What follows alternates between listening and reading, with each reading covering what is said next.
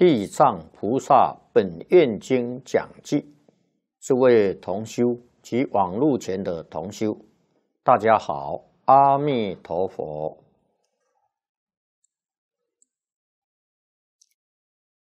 请大家翻开经本三百八十页，三百八十页第三行，从经文看起。若能更为生死之后，七七日内广造众善，能使四诸众生永离恶趣，得生人天，受胜妙乐，现在眷属利益无量。啊，我们看讲记啊，人死之后要做七。来源就在此地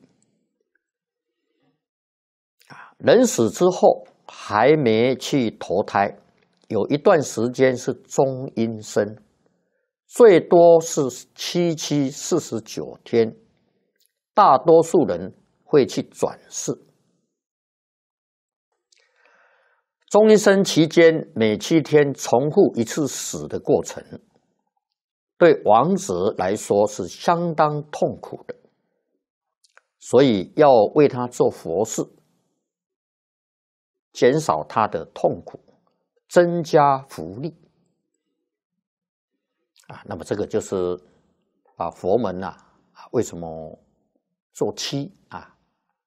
七七四十九天呐？为什么每一个七啊，要为王子啊来诵经念佛修福？啊，他的经典依据的啊，他的道理，那么增加这个王子啊，他的福报，广造众善，诵经念佛给王子回向，如果有能力啊，将亡人遗留下的财物。广修布施啊，就是替这个家属修福啊，特别在三宝里面种福，他的福报就更大啊。那这个修福属于助行啊，帮助的啊。诵经念佛是正行啊，这个正助双修。四十九天之内，天天给他修福，这才是真正的帮助。名扬两利啊，应该四九天都要给王者回向啊，都每一天要跟他回向。四九天每一天都要回向。那一般世间人呐，是七天修一次啊，那总比不修的好。啊，现在也有也有人不学佛的啊，那他也不知道啊，要为自己的父母家属做妻了啊，他不知道啊，特别现在年轻人呐，他没这个概念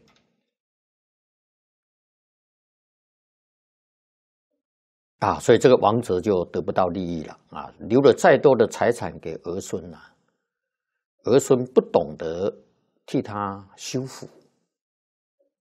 那他什么利益都得不到，所以要读地藏经啊，那才知道啊，怎么为自己的父母、家亲眷属往生之后啊，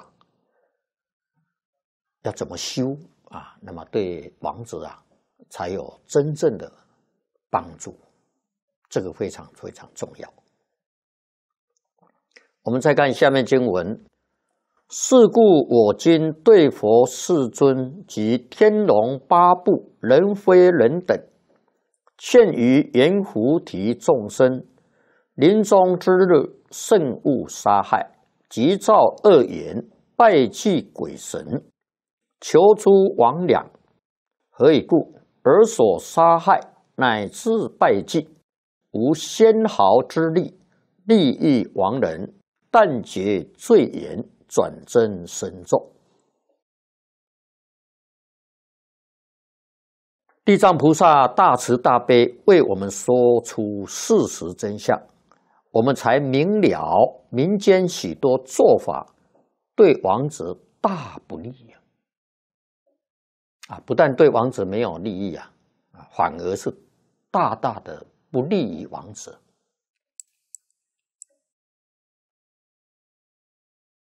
菩萨在世尊、天龙八部、人非人等面前说明，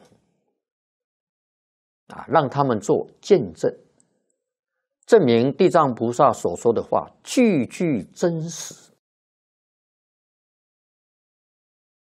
菩萨劝导阎浮提众生，在亲人临终之日，决定不能杀生，不能造恶缘。啊，我们想要为亡者祈福，去杀生、拜祭鬼神、求诸魍魉啊，这魍魉是邪神呐。啊邀请亲朋好友聚会，杀生吃肉，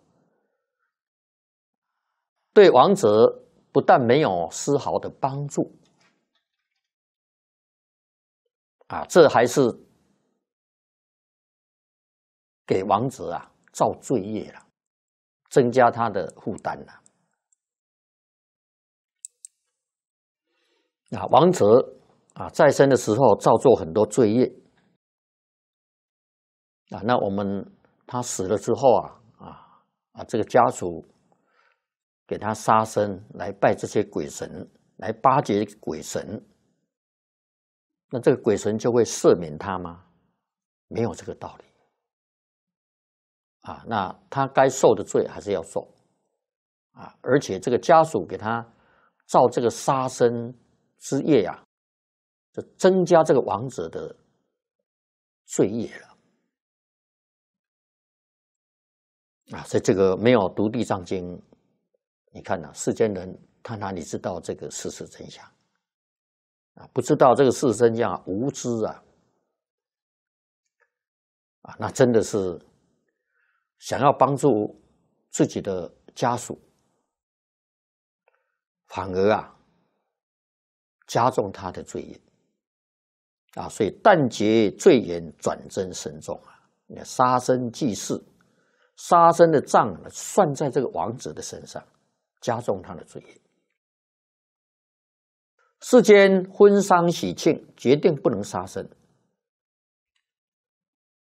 啊！这个佛五戒十善。啊，八关斋戒、沙弥戒，第一条就是戒不杀生。啊，为什么把它列在第一条？世间人不懂啊，啊，只知道杀人是有罪，那杀动物就认为是正常的、应该的，没有事，哪里知道这个都有因果啊？啊，所以庆生作寿，希望长寿。那你杀害众生能得长寿吗？啊，临终有病苦，就是一生中跟众生结罪缘，啊，过继今生啊造这个杀业，啊，所以临终啊就会受这种病苦的折磨，跟杀生有关。世间大富长者死的时候，都有很长一段时间的病苦啊，那各种疾病都有，那这个都是跟杀生业有关啊，或者呢得老年痴呆症啊，老年痴呆症啊，那人一走出去就不知道走回家了。啊，到了末期不省人事，啊，神识昏昧了，不认识家亲眷属，迷惑颠倒。在这种情况之下，当然往三恶道去了。啊，他一生辉煌腾达，死了以后堕三恶道，他有什么成就呢？啊，不如世间贫贱的人老实念佛。啊，人家前途是到西方极乐世界做佛，念佛人欲知实质，自在往生，没有病苦，站着走、坐着走的，这是真正的大福报，人生最高的享受啊！这才是人生最高的享受啊！临终迷惑颠倒，连助念都帮不上忙；临终神志清楚啊，这个助念是帮大忙。他能一心呐跟着大家念佛，那决定得生净土。要想自己临终不迷惑颠倒，现在一定要修福啊，把这个福报啊留在临命中来想啊，那才是真正的福报啊。平常不要享福啊，要修福。福报留在临终来想，好死啊！来生投胎一定是善道啊！由此可知，我们一生中决定不跟众生结怨仇，不可伤害众生。众生都是凡夫，我们伤害他，他怀恨在心，永远不忘，遇到机会就报复，冤冤相报，没完没了。假使来世或现在生得获圣婚，生人天中，原是临终被诸眷属造事二因，亦令是命中人央累对变，晚生善处。啊，假使来世啊，临命中的人死了，死后属于来世了，啊，那一断气呀，那就是。隔世了，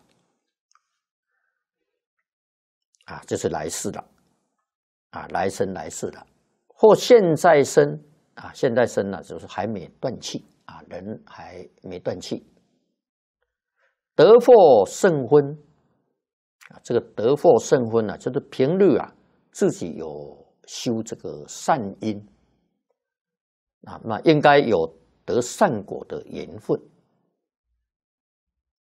啊，这个人是在生的时候啊，他是善人啊，他也没造什么罪业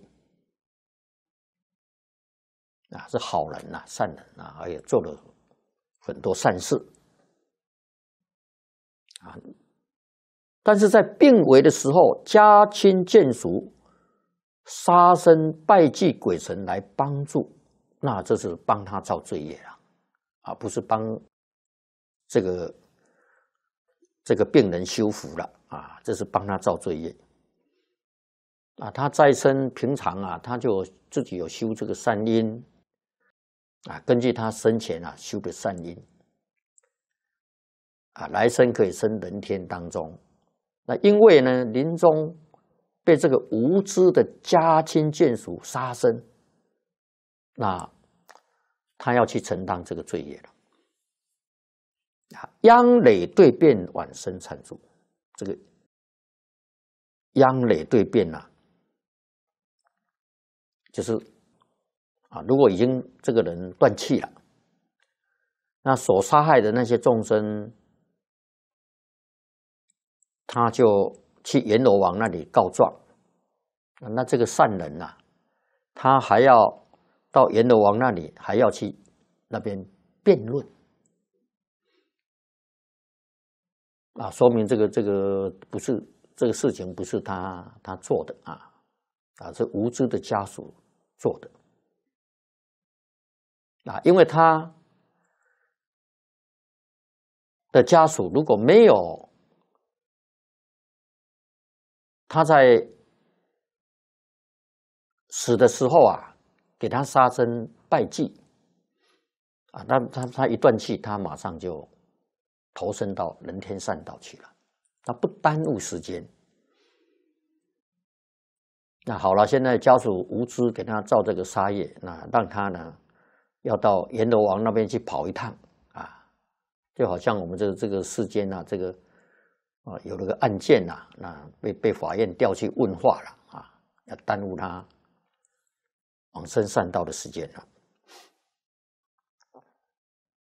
啊，如果还没有断气啊，那病人在病床上受种种痛苦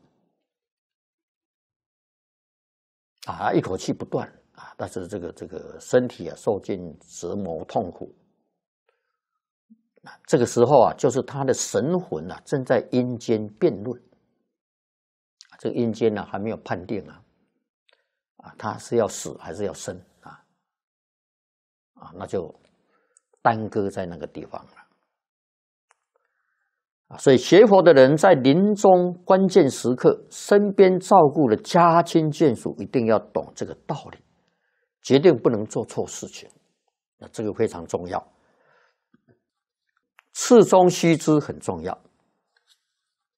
家中有重病的人，家亲眷属人人必读啊，要明了如理如法的送终啊，才能真正有益于亡者。啊，对这个王者对他才有利益，对他才有帮助。啊，千万不能给他杀生造罪业。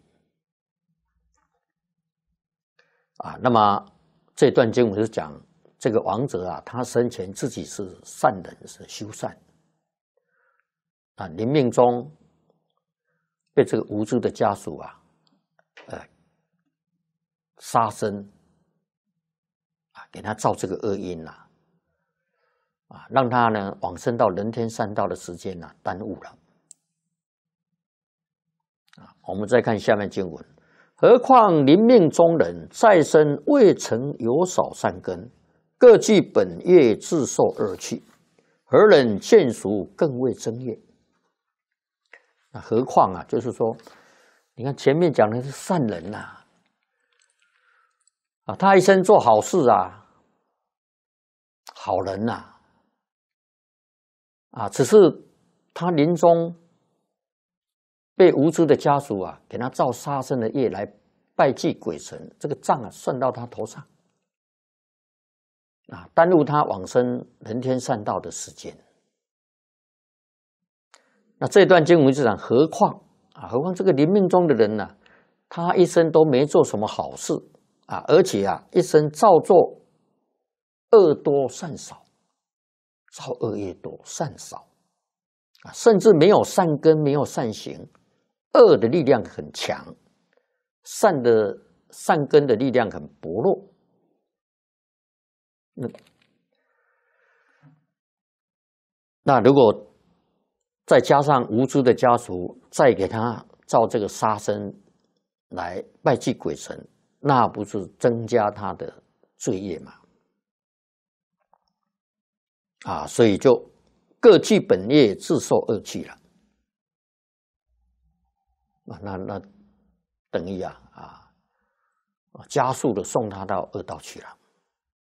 啊，根据他自己造的本业啊啊，这个家属再给他添一点罪业啊，那很快就到恶道去受报了，生到三恶道去了。左传云：人气长则妖心。常是五戒，儒家讲仁义礼智信，失去伦常，这个人就是妖魔鬼怪，死后堕入三恶道。何忍眷属更为增业啊？那家亲眷属啊，怎么忍心还给这个王者造这些恶业啊？让他。去承受这个罪业呢？那当然啊，这些家属也是无知的，那才会造这个罪业嘛。啊，如果他明白这个道理，知道这个事实真相，他肯定不会给王者啊造这个罪业了。啊，那我们现在看到不学佛的人、无知的人多啊，啊，对这个。王者啊，那伤害太大了。那么下面这段是比比喻啊，佛用比喻来给我们讲。譬如有人从远地来，绝粮三日，所负担物强过百斤，呼吁邻人更负少物，以示之故，转负困重。那么这一段。譬喻啊，就是譬如有人从很远的地方走到此地，三天没吃饭了啊，那么他还挑着一百斤重的担子，其苦难呐，可想而知啊。那你再想想看啊，不要说挑一百斤的重担呐，啊，就是你。身体都空空的，三天没吃饭了，大概走路都没力气了，何况再挑一百斤啊？那他这个他的承受啊，能不能承受啊？你就可想而知了。这是比喻临命中的人呐，他生前没做什么好事啊，而且造很多恶业啊，那就好像啊。从远路来啊，走了三天没吃饭啊，身上又背了一百斤重的担子，那个一百斤重的担子就好比恶业了啊。那死了之后，当然依他再生的行业，他的行为，他造的业，去承受这个三恶道的果报了啊。那他已经支持不住了。呼吁邻人，更护少物啊！他已经挑了一百斤，就已经走不动了啊！再给他加一点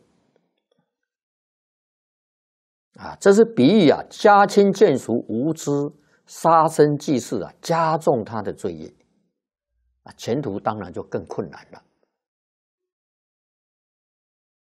那肯定要倒下去了。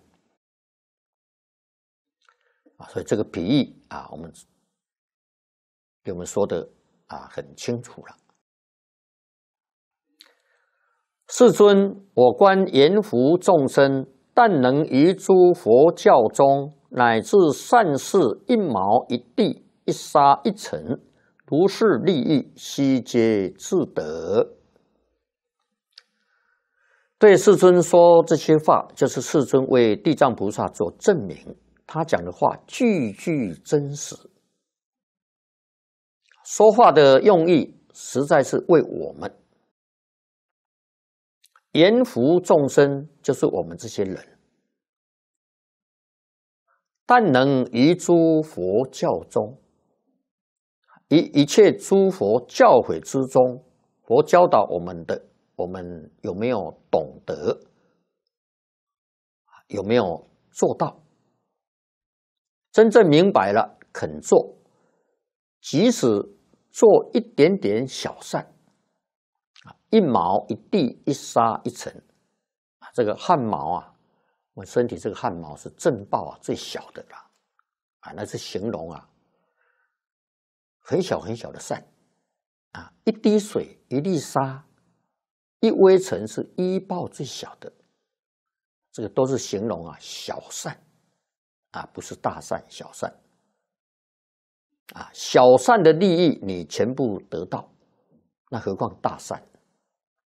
啊，佛法所教的再小的善都称性，啊，既然称性，善就没有大小，啊，大善小善都是尽虚空变法界的，啊，乃至啊。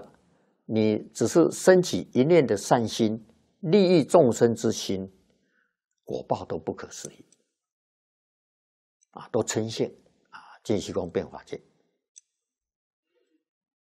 地藏菩萨说的这些话，初学的人很难接受啊，认为啊，活菩萨以这些言语啊劝勉我们啊，未必是真实，这是以凡夫心。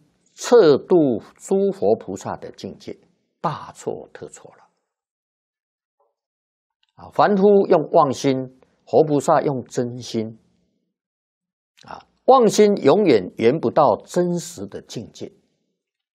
凭着自己的妄想，想象活菩萨的境界，全错了。恶障破了，真实智慧才现前。啊，就烦恼障、所知障。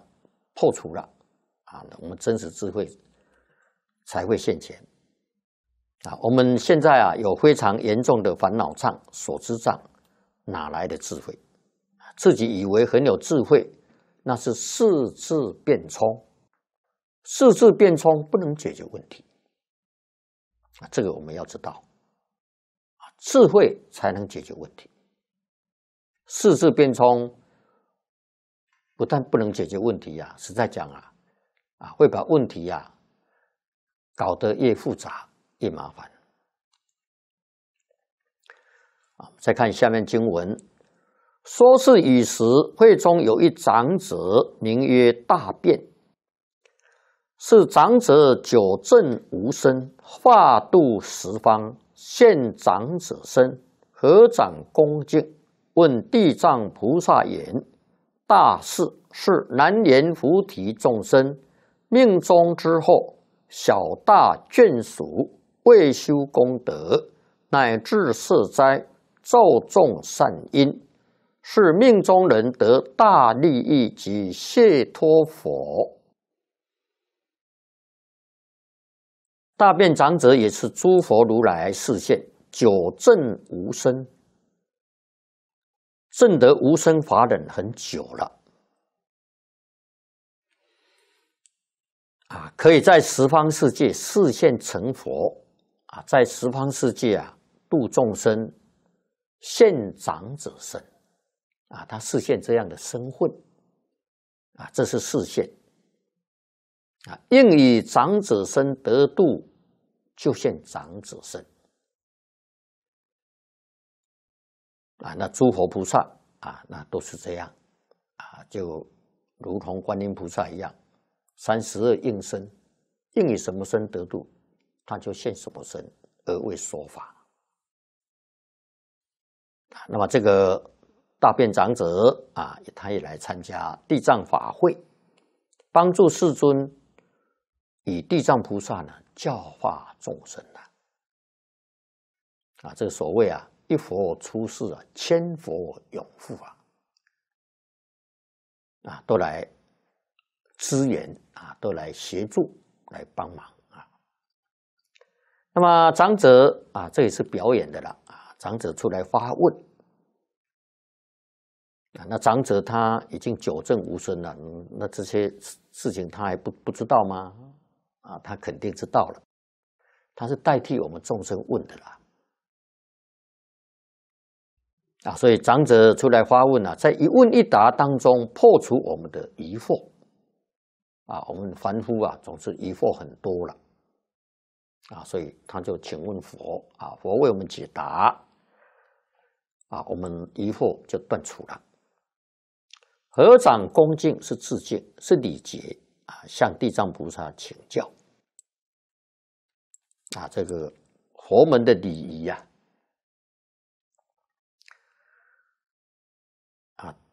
大士这是称赞菩萨。啊，这个地藏大士、观音大士、文殊大士、普贤大士，啊，弥勒大士，啊，那这是称赞菩萨的一个称呼。小大眷属，啊，这个小大眷属就是晚辈或者长辈，啊，世间人过世后，家亲眷属给他修一些功德。譬如设斋放焰口，放蒙山施食，请鬼神吃饭，啊，也有在世间修福的斋生，啊，古时候富裕人家呢，啊，都会设千生斋，啊，这个我们看《了凡四训》，啊，《了凡四训》呐，啊，他。当上保底知县之后啊，啊，这个五台山的范蠡禅师来拜访他，啊，那他向他请教问题，啊，请教了之后啊，他就斋生一万，啊，那个是万生斋了，啊，造众善因呐，啊，就是造种种的善因。多做善事回向亡人，这个命中的人是否因为家亲眷属为他营修功德，就能得大利益，就能得解脱？啊，那这个大便长者啊，向佛请问这个问题，这个问题是代代替我们众生问的了。啊，那我们再看下面经文。地藏答言：“长者，我今为未来现在一切众生成佛威力略说世事。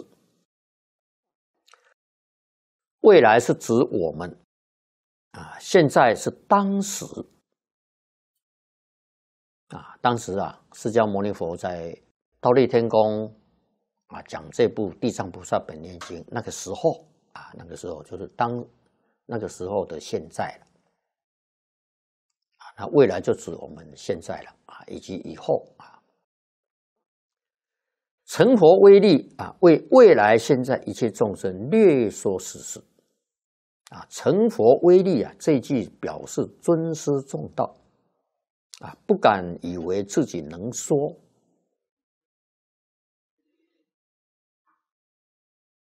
啊，所以这个地藏菩萨也是表演给我们看。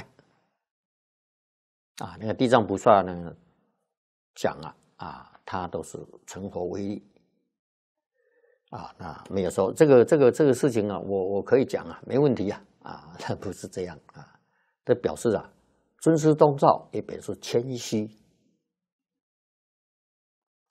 啊，所以这个事理啊太深广啊，我哪里能说呢？我是必定要成佛的威神加持啊，这才能说啊。啊，这是地藏菩萨的谦虚啊！其实他早已经成佛了，他只是发了这个愿啊，众生没有度尽，他就不实现成佛这个身份来度众生啊。他实现菩萨身来教化众生。那实际上他早成佛了，他教的学生都成佛了，他自己还不成佛吗？啊，那这个是视线的啊，我们要明白啊。那也是在教我们啊，长者未来现在诸众生等临命终日，得闻一佛名、一菩萨名、一辟支佛名，不问有罪无罪，悉得解脱。这个利益实在是太大了。你来生到哪里去？关键在临终最后那一念。你一生所造的业很多啊，何况还有过去世、生生世世累积的业无量无边。佛在经上说：，假如你所造的业有体积啊，那个体积再小，像微尘一样。那我们生生世世所造的业啊，是尽虚空遍法界都容纳不下啊！好在这个罪业没有体积呀，没有形象，但是它产生力量啊，这个力量就造成了六道轮回啊，变现出种种苦的境界。一个人来生要往哪一道去受生？决定在最后一念，强则先迁啊，力量强的业因啊，先受报啊。如果人在临命终时想家亲眷属，恩爱难舍，贪心重，就到鬼道去啊。那么贪心是鬼道的业因。如果想到冤家对头还没报复，嗔恚心重，就到地狱去。啊，临终迷惑颠倒，糊里糊涂走了，到畜生道去。啊，临终闻佛名，一心想佛，他必定得解脱。一生没有接触过佛法的人，临命终时，有人教他念阿弥陀佛，求生净土。佛来接引，跟阿弥陀佛去西方了，他就做佛了啊。那下面啊，讲出早年呐啊，在美国啊，那个好像是美国 D.C. 啊，华盛顿那个地方啊，有位周广大先生啊，在临走前三天才遇到佛法那么他是得了癌症，那这个医生已经放弃治疗了，没办法了。啊，那么他的家属啊，还是希望啊有奇迹出现，啊，就到处啊啊去庙啦啊寺庙啊啊去问啊，那刚好他问到那个华盛顿佛教会啊，那个时候好像第一任会长请我们敬老和尚去担任，啊，那当时啊在华盛顿也有一个。龚振华居士啊，那这这个居士也往生很多年了。那么他听我们楼上的经啊，也在修净土了，我就刚好就碰到他啊，他他就去劝他了啊，说你要放下万年了啊，你这个病治不了了啊，你有缘遇到这个佛法。啊，劝他念阿弥陀佛啊，发愿啊，求生西方极乐世界。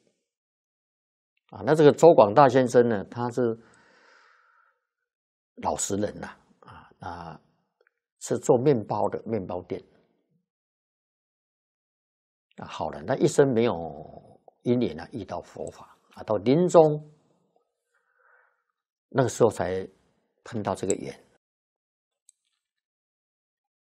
啊，那这个巩居士劝他念佛，说你就不要求病好了，求往生了。啊，那真的是三天前才遇到佛，那么他一听他就相信，他就接受了。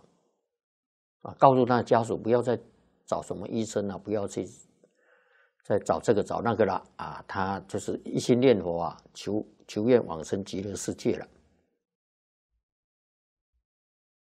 啊，那真的啊，跟他念了三天佛。他就看到啊，这个西方三圣从云端下降，啊，佛接引他往生，啊，那这个公案呢，我们敬老和尚在过去讲席当中多次提起，啊，所以这个临终啊，啊，这个助念啊，那么这一段经文呢，也是我们临终助念的一个依据啊。那么遇到临命中的人，教他念菩萨名号，念辟支佛名号，啊，念一尊佛的名号，都好，啊，即使不能往生西方极乐世界，也决定得人天福报，啊，那这个功德利益太大了，啊，如果他还不想往生极乐世界，那么家属啊，帮他助念。劝他念佛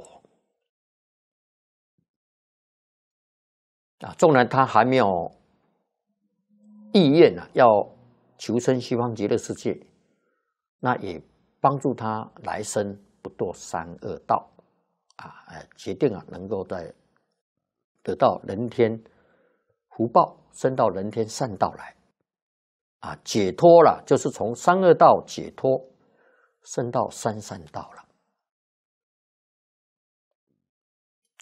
如果临命中人能明了佛菩萨名号表法的意趣，能契入境界，那得到的功德利益就更殊胜了。啊，就是要明白道理了。所以送终一定要劝病人念佛。如果家亲眷属都能助念，那是无比的殊胜。啊，那现在呢？这个啊，又。有发明这个念佛机啊，这个也是一个补助啊，很好的工具啊。如念的这个佛号录的比较好的佛号，做成念佛机啊，那这个帮助助念呐啊，也是很大的啊，所以送终一定要劝病人念佛啊。我们平常念佛都是为了临终这一念，平常念的熟，临终才不会忘记。平常要放下万缘，临终才不会有障碍。什么都要放下对世间没有丝毫的贪恋，往生就自在。我们敬老和尚这段开始就非常重要了。啊，是在讲啊，这个放下，平常就要放下了。啊，平常放得下，临终他就很自然嘛，就放下了，就没有障碍。啊，那如果平常放不下，到临终啊，像周广大先生这样，那当然那个时候放下也可以，啊，但是啊，就怕呢，到临终的时候还放不下，啊，那就去不了西方了。啊，对这个世间呐，还有贪恋啊，就不能去西方啊。对，对这个世间什么都放下了，没有丝毫的贪恋，那往生就很自在，随时可以走。那么临终能否遇到善友帮助，很难说啊。这个个人的因缘不一样啊。啊，这个我们在同修当中也常常碰到了，有些同修他的家属。有时候请求助念啊，刚好大家那个时候啊不方便，没时间啊。那有的人他平常没有接触佛法，哎，临终的时候就有很多人啊去帮他助念，这个我们也常常碰到啊。这个就说明个人的缘不一样了。啊，所以这个临终是不是能有善友帮助，这个很难说了。这真的就是像善导大师讲的，在个人遇缘不同啊，每个人他遇到的缘不一样啊。你遇到的缘殊胜啊，对你往生帮助很大啊，往生西方帮助很大啊。因此平时要多结善缘，多参加助念。自己临终才会有人来助念，这个也是因果报应嘛。啊，平常就乐意去帮助人，啊，自己临终啊啊，当然就很多人来帮忙了啊。我们再看下面经文，在三百九十页啊，第一行：若有男子女人再生不修善因，多造重罪。命中之后，眷属小大，未造福利，一切盛事，七分之中，而乃获一六分功德，生者自立。啊，那么这段是讲啊，有男子女人啊，那这个经文啊。我们在这里也要注意看啊，这个男子女人，他就没有加一个善男子善女人了，啊，就是一般的男子女人。那一般男子女人在生的时候啊，他不修善因啊，而且啊多造重罪，不但没有做好事，而且造很多罪业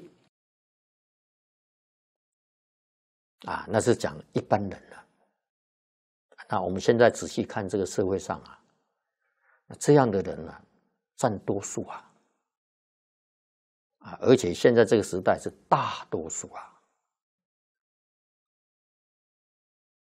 啊，不但呐不修善因呐，还造很多很多罪业啊。那么命中之后啊，啊，这个家亲眷属大小啊，为他来造福利。啊，家亲眷属为王者做佛事，啊，那么通常请七位出家人诵经，啊，或者诵七部经，来源呢出自于本经这段经文，啊，因为你替这个家属，家属替他修福，啊，替这个王者修福。那么替他修他的福报啊，他得七分之一，啊，七分之一。那六分的功德啊，生殖之力，阳上的人呐，这些家属得的利得六分，那他做的修的这个福回向给王者，王者得七分之一，七分之六是再生的人他得到。啊，所以这个通常请七位出家人，就是说啊，啊，那有其中有七分之一啊，那王者能得到的啊，或者诵七部经啊，生者得得六部的功德，那往生的人啊，得一部经的功德啊啊，所以念。诵经念佛的功德，王者他只得到七分之一；诵经念佛的人自己得七分之六的功德。啊，这是说一个比例，王者能得多大利益，完全看生者智力有多大。啊，那么再生的这些家属，他得的利益大，那回向给王者。啊，相对的，王者他得的利益也大，啊，这是说一个比例，啊，那如果诵经的人在诵经的时候开悟正果，正果就是记录经典中的境界，一个妄念都没有，王者得最殊胜的功德利益，啊，那这个功德利益就很殊胜了。啊，这个这个诵经的人啊，啊，开悟了，正果了啊，在我们念佛人来讲啊，得到一心不乱了，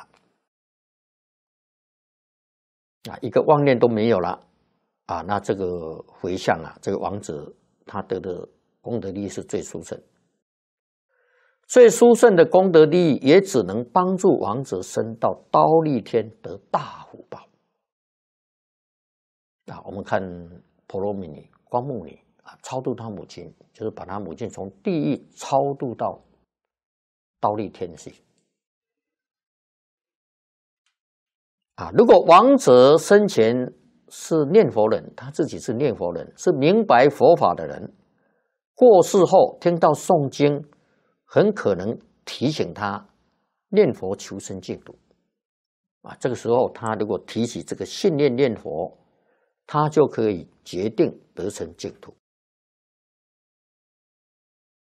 啊！像我们三十七年佛事就是这样啊，就是提醒王者啊，要信念念佛求生净土啊。如果这个王者他生前没有遇到佛法，那么也也是给他种善根了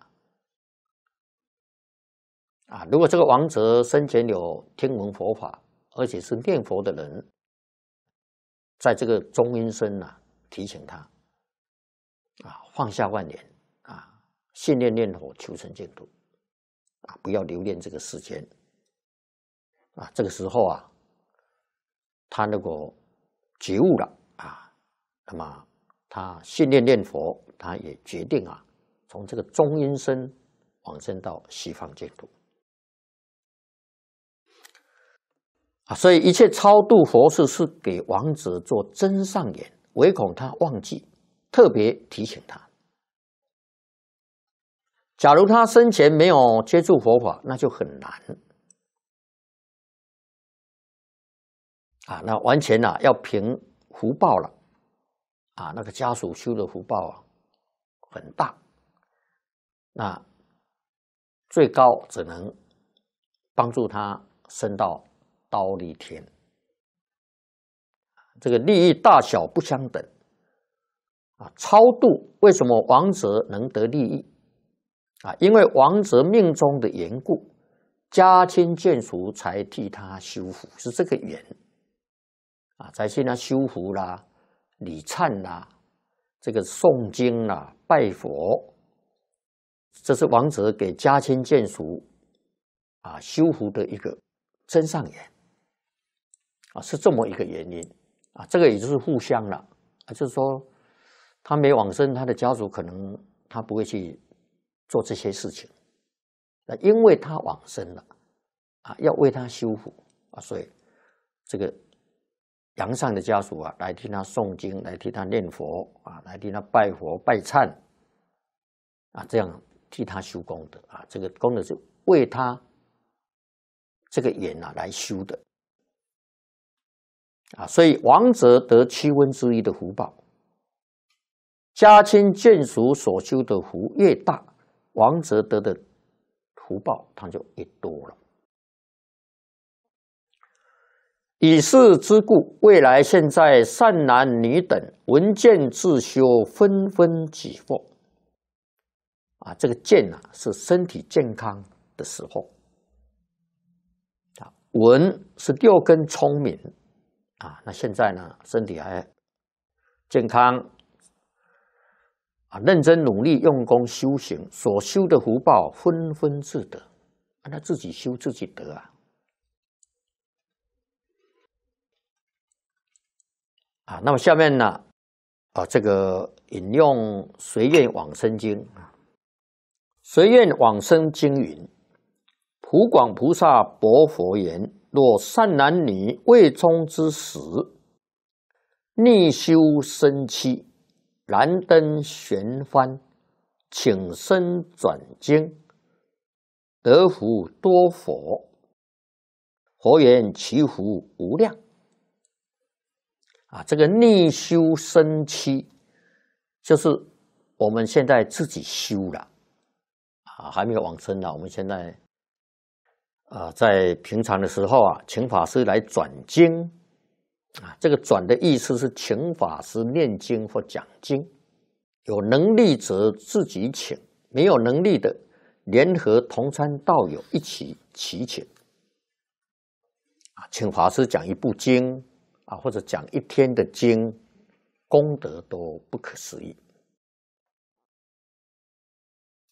啊！我们再看下面经文：无常大鬼不期而到，明明有神为之罪苦，七七日内如痴如聋，或在诸师辩论业果，审定之后，具业受生。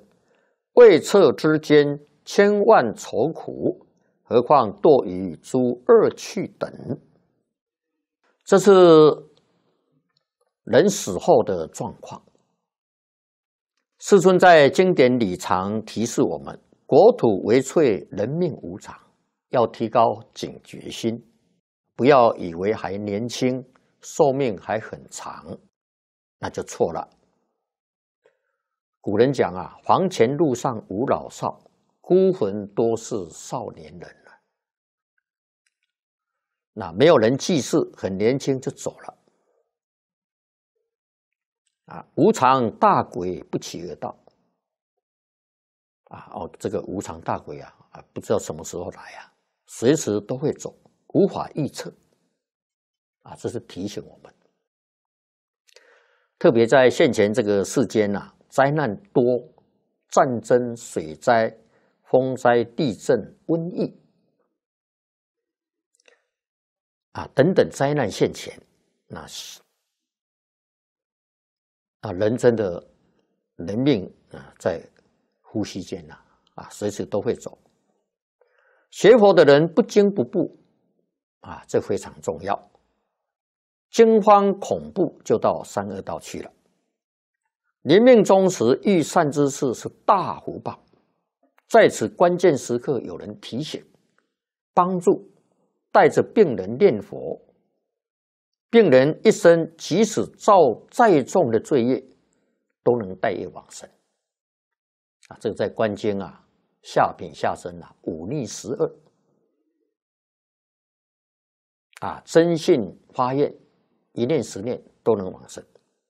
就怕命中时不但没有人帮助，而且还有人干扰，啊，家亲眷属又哭又闹，那是大障碍。游神就是灵魂呐，啊，佛法讲阿难也是，七七日内啊，中阴身是迷惑痴呆的，或在诸师，诸师是鬼道办事的机关，亡人不承认自己所造的罪业。在那里辩论，世间人自己造作的罪业忘记了，啊，也有故意不承认。可是，在阴司有记录，常言说：“举头三尺有神明。”人一出生就有两个神常跟着，一个叫同生，一个叫同名，把我们所造作一切行业记录下来。命中之后，阎罗王那里档案很齐全，丝毫都赖不掉。审定之后，具业受身。到哪一道去投胎，随业就去了。依照自己所造的业分花，啊，阎罗王无权利加罪或赦免，所以自己一生的前途确实是自己主宰，不是阎罗王主宰。在阴间接受审判，尚未定案的王者，千万愁苦。啊，定案之后。如果恶业重，一定到三恶道受生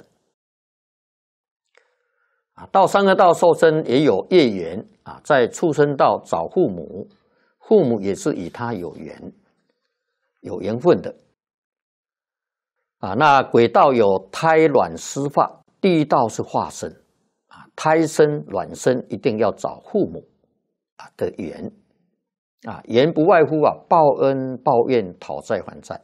啊，没有觉悟啊，生生世世要搞这些事情，啊，觉悟就在一念之间，转业力为愿力，转业报为视线。我们能不能转过来？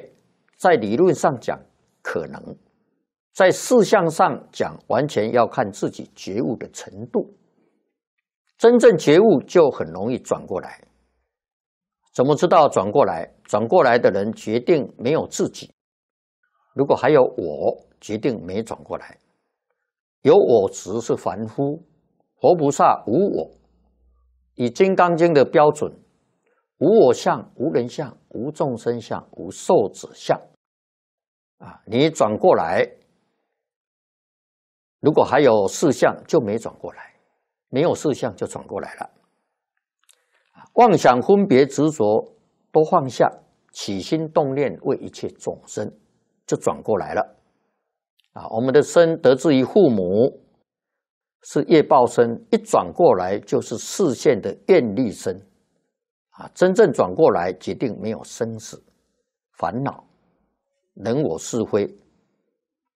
啊，真正转过来，生活工作跟平常一样，没改变，但是心态改变了。啊，以前起心动念为自己啊，现在啊起心动念为大家啊，所以这个真正转过来啊，真正用功的方法就是看破放下啊，不为自己，一切为众生。好，那么这一堂课啊，时间到，我们就学习到这一段啊。那下面呢，这个啊还有。一大段经文啊，我们下一次再来学习啊！祝大家福慧增长，法喜充满，阿弥陀佛。